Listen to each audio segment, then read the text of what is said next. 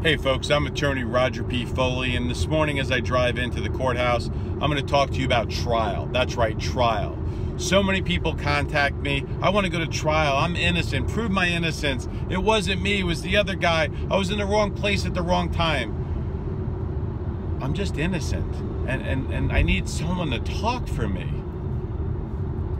So let's talk about trial.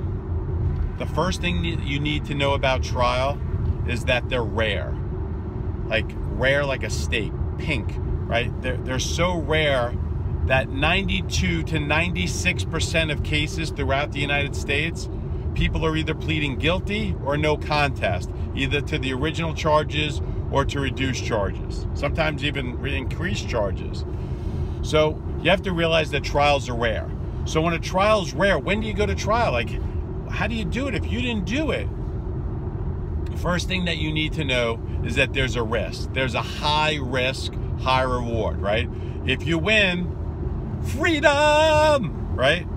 If you lose, you're incarcerated. You're going to go to jail or prison. Now, maybe not on a first time misdemeanor. Any felony charge, consider yourself, you know, you're, you're in prison. All right. So you, as the client, right? You the you're the one who the charges are brought against. You need to decide whether or not you're ready to take that risk. And you need to determine whether or not you're ready to take that risk with your attorney, with your lawyer, with your criminal defense team. You need to know what the discovery says. You need to know what the depositions read like. What are the transcripts?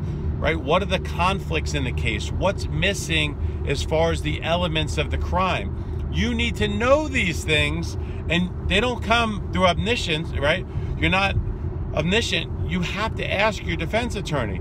And if your defense attorney is like, ah, you know, that's not the guy or that's not the gal, you need to make sure that they're doing their work, that they're passionate. And I don't mean ride their butt. I don't mean you know, be a nag, but you kind of got to be a little bit of a nag because if your defense attorney is not giving you your discovery, your videotapes, your audio, your CADs, right? Not giving you copies of transcripts, not sitting down and going over a strategy to win a trial, you got problems. And you need to make sure that you don't risk your life, you don't risk your freedom because some guy is or some gal is taking it lightly, not taking it seriously. So what do you, what is your attorney supposed to do? What do I do before my cases? I kill with kindness.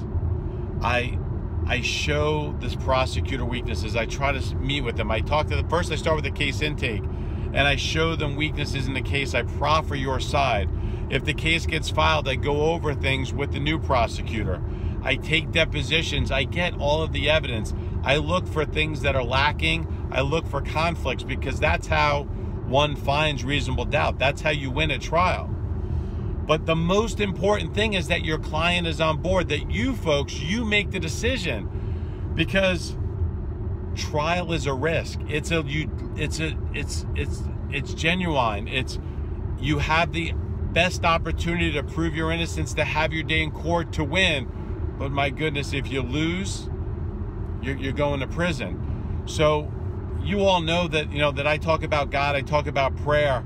And not only do I say a prayer and I say, you know, God, give me the strength to, to give my best, to be articulate, to to really understand the facts of the case, to look for the weaknesses, to do my best to help this individual that has hired me to help them. But I also ask him to give me power to smash, to smash my opponent, right? I want the passion and the dedication to stay up late at night, to work the weekend, to get through it so that when I go to trial, I obliviate the other side. I don't want to just win by a little bit. I want the jury to come back and go, not guilty, and I can't even imagine. I want the judge to look at the prosecutor like, what were you doing? I want the prosecutor to look at the police officers like, what did you do? Why did you put me in this position? I want witnesses to just shake their heads and like, I want the whole system to be turned upside down. Now, That's a big prayer. That's a big ask, right? But I find that when I beg for mercy, when I go to prosecutors generally and say, hey, look at this, a lot of them, not all of them, because there's a lot of great prosecutors, but a lot of them, they're lazy. They ignore me. They ignore other defense attorneys. They'll get to it. They're too busy. Their docket's too big. They're, they have to do a trial, whatever, whatever. So I want to make sure that the next time I have a case with them and I show them things that are legitimate, and I'm gonna that they never want to go to trial with me again. That they say, you know what, man, that, that guy's on top of it. I want him them to know that my opinion means something. I'm not just telling them that my client's innocent to say it's innocent. I, as a defense attorney, need to be a little bit of objective and recognize a winner from a winner and a winner from a loser. Right? I need to be able to say that. I can't say, "Hey, my client gave a confession he had, you know, he there was a warrant issued based on confidential informants.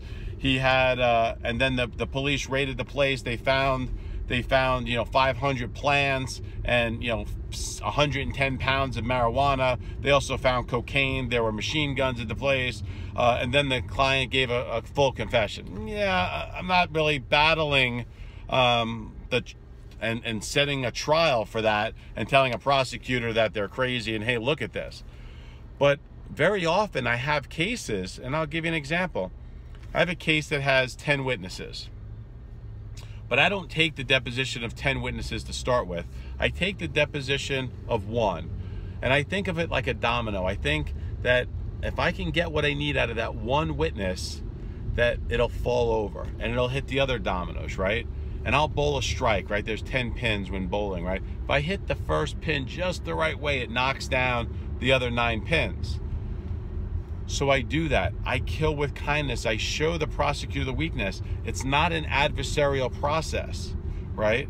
It's not. Even though when I go to trial, it's different. But in the beginning, it's not adversarial. Hey, Bill. Hey, Sue. Hey, John. This is what I got. Let me show you some weaknesses. I really like to, you know, to get you to dismiss this case or do something with this case. I want you to work with me on this case. And a lot of them will go, hey, you know, I, I see that. And geez, no, I don't want to go, man, I don't want to prosecute. And then there's some folks that are thick headed, that don't listen, that they're a product of, of, of having too much power. Um, but most of all, just laziness, where they don't return phone calls, that they don't look at the depos, they don't do anything.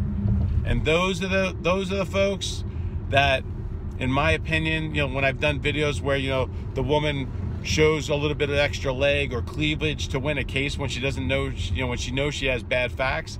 I want to crush those people. I want them to be so discombobulated upstairs after they lose that they literally think about throwing in a towel and changing professions. Because innocent people should not be prosecuted. But it all starts with the client does the client, once he's been arrested or she's been arrested, do they want to take the risk? There's so much risk. If you lose, you're more than likely going to do time. So you have to know, but you also need to know that your attorney, that he or she is equipped, that they're willing to do the work if you don't fight, if you're not aggressive, it's not just saying a prayer, folks. I, am a huge believer in God.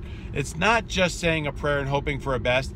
It's asking God to give you the fortitude and the strength to endure, to stand up, to stand up when you're innocent and find the right attorney to fight the battle for you, to be your voice, to, to share with that jury, with that judge, what's going on and to do everything that they can to convince. That's your prayer. That's your belief in God that the system can work, that God's power will rain down, and that you will destroy your enemy. That's trial, folks, and that only happens four to six percent, if that. They they say that the average trial is. I, I think that the average amount of cases that go to trial in the United States is 3%. Think about it, 3%. That means 97% either, you know, like we already said, that 94 to 96, or maybe a percent gets dismissed. That's what trial is about.